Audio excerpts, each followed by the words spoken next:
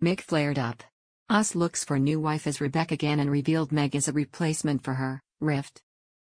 It was a long time coming, according to Women's Day New Zealand. A source close to Prince Harry and his wife Meghan Markle stated that disagreements and fights between the two have worsened in recent weeks, says made a strong but temporary decision. The Sussex would be having too many disagreements related to the upcoming projects after Netflix miniseries or even the title of his memoir, released on January the 10th.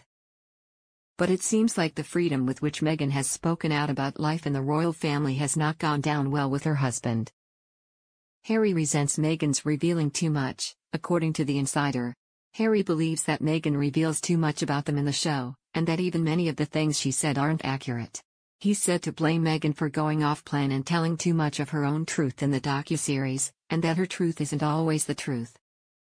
The insider added, and considering that California home is mortgaged to the hilt, they need the money. He finished off, they could divorce in two years at the most. It's not just Harry who's upset, but it's also reported that Meghan would be tired of her husband and could be looking for an exit plan in the not too distant future. Currently, Rumors of a rift between the two continue to explode, and many secret girlfriends, as well as Harry's ex girlfriends, continuously appear in the press. They said the same quote they hope Harry finds someone more suitable, and recently, a character who surprised us with an identical face to the Duchess spoke out about her experience with Harry before the prince fell into Meghan Markle's trap. Is Meghan just an alternative to this girl after he was rejected many times? I could have been Harry's princess. He didn't want her to leave his side while hanging out in a pool cabana with Rebecca Gannon at MGM's Wet Republic during his infamous Las Vegas weekend.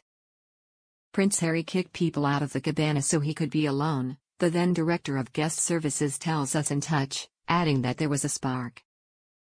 After we spent some time together, he seemed to be flirting a little. I couldn't believe it. He liked me and kept saying, You stay here, so she did. But even as Harry offered her vodka shots and turned on his charm, opening up to her about his late mother Princess Diana and telling the Belize native, You have a lovely glowing smile, Rebecca turned down his advances. He wanted to kiss me, but I said no, she says. I just couldn't. I was working. Now that Harry is Meghan Markle's husband, however, Rebecca is kicking herself. Everyone tells me I lost my chance because Meghan and I look a little bit like each other. Harry certainly seemed smitten. After we spent much of the day together, he gave me his bracelet and told me to keep it forever, Rebecca says of the prince, who shared a bracelet with Meghan too. Eventually, he asked for my phone number. Someone from his entourage contacted her that night, but she couldn't join him again because of work. But he just didn't give up. He came back into town about four months later and tried to see me again, she says. But she turned him down again because we came from such different backgrounds, and she didn't see potential for a real relationship with the so called party prince. As Meghan would learn five years later, there was I had a chance, she says of becoming a real life princess.